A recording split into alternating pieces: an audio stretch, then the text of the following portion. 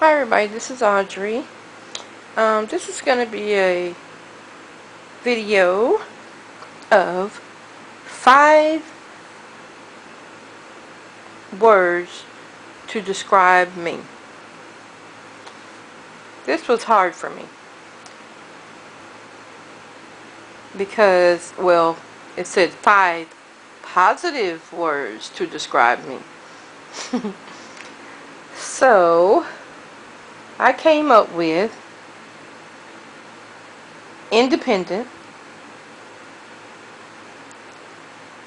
crafty, thrifty,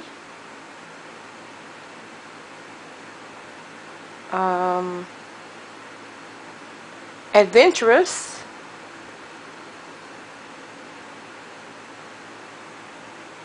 and a knowledge seeker.